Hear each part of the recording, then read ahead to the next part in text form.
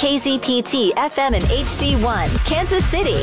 Just tell Alexa to play 99.7 The Point. Always live on the free Audacy app.